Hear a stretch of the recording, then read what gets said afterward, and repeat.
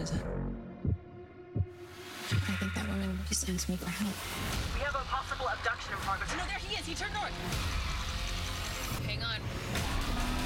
Chicago Fire, due next Wednesday on NBC and Peacock. I'm just going crazy sitting at home. I'm at a poker game that just got ripped.